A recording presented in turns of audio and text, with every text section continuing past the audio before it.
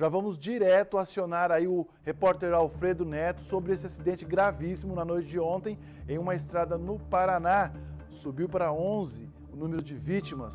O Alfredo, os detalhes deste acidente, desde a noite de ontem, era por volta das 10 horas da noite, já começou a chegar as informações de que esse ônibus teria saído aqui de Três Lagoas e estaria levando aí os funcionários, é isso mesmo? Bom dia.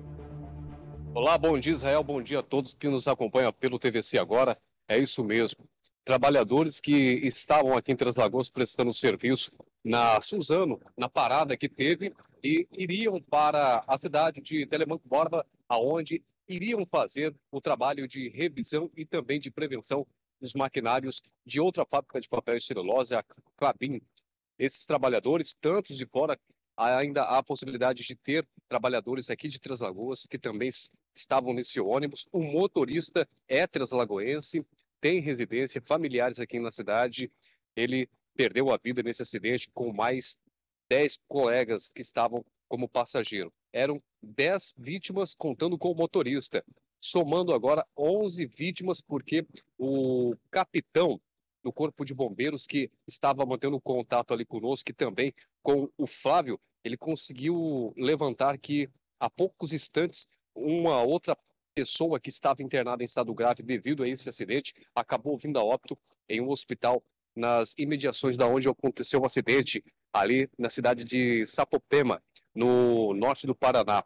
Faltava 80 quilômetros para o final da viagem quando o ônibus que estava descendo a Serra Fria na, na rodovia PR 090 acabou perdendo os freios. O motorista, o Adilson, que estava levando esse ônibus não conseguiu controlar o veículo ali por conta da curva acentuada e o ônibus acabou perdendo o controle e descendo ladeira abaixo. Por cerca de 500 metros, o ônibus rolou nessa ladeira. Alguns passageiros foram arremessados para fora do ônibus e acabaram sendo esmagados pelo veículo. Outros foram lançados a quase 50 metros de distância, como o tenente do Corpo de Bombeiros relatou, aonde eles conseguiram encontrar pessoas em estado grave.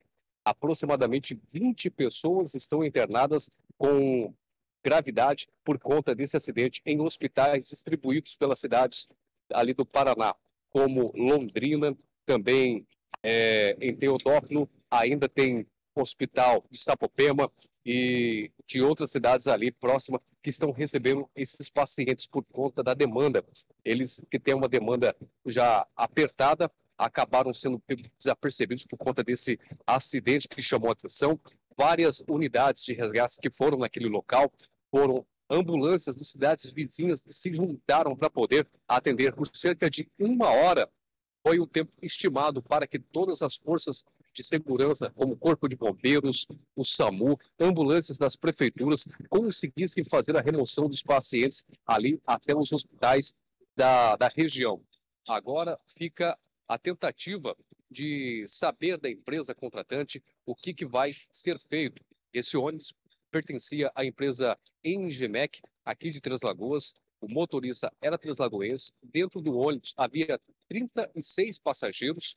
Desses 36 passageiros, existem a possibilidade de grande parte ser translagoenses e outras estarem aqui na cidade depois da parada que houve na Suzano e aproveitar o transporte que já ia para aquele local por essa empresa, eles serem contratados para fazer trabalho também lá na cidade de Telemanco Borba.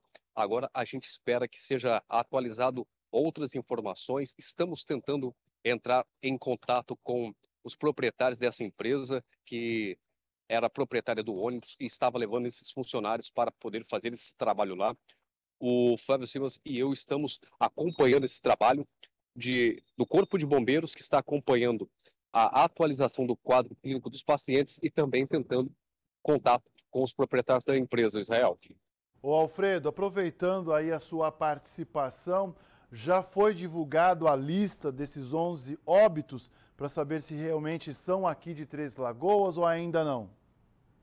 Sim, sim, Israel. A, a lista com o nome do, dos 10 óbitos já confirmados já está disponível no JP News, já temos lá a lista com o nome dos 10 óbitos e dos outros dos, das outras pessoas, as que estão internadas e os que receberam alta.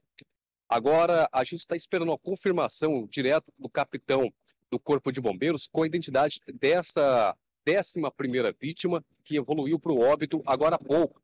Esse ainda não foi atualizado no site JP News porque não tivemos a confirmação da identidade dele. Estamos aguardando essa confirmação, mas os 10 que já haviam sido confirmados já estão disponíveis no site JP News, Israel.